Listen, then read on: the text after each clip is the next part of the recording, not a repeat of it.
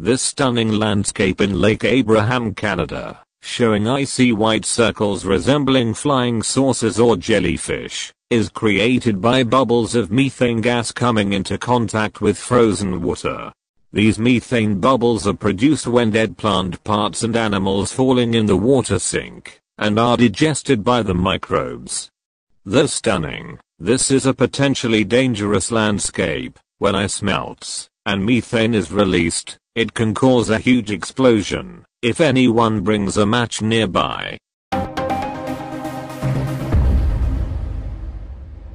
Marieta Islands, off the coast of Mexico. This secluded beach can be accessed through a 24 meters long tunnel that links it to the ocean. The source of this magical place is rather shocking, a bomb blast.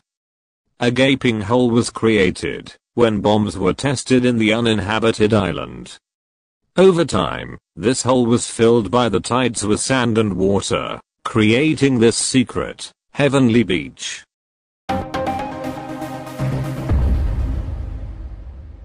Visitors to the Death Valley National Park in California can see so many heavy boulders that look like they've been moved across the dry bed of a lake in the park. Racetrack Playa how come these boulders appear to be moved, some in straight lines with sharp turns, while others in more smooth curved paths?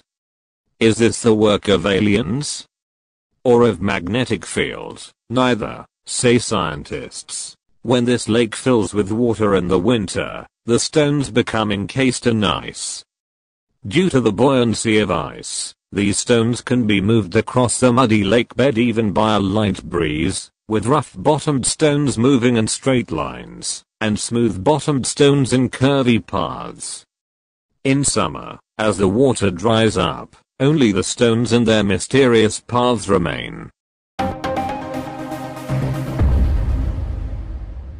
This one kilometer wide vivid turquoise-hued lake with citrine colored stones and billows of white gases is found at the summit of Kawah Ijen volcano, these stunning colors can all be attributed to one element, sulfur.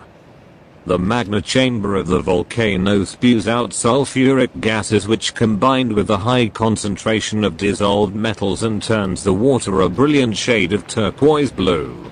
The bursts of sulfuric gases can be seen as the billows of white gases around the lake, and when these gases condense and fall back to the ground, they dye the stones around the lake a vivid shade of electric yellow. With a pH of 0.5, this lake is also world's largest highly acidic lake.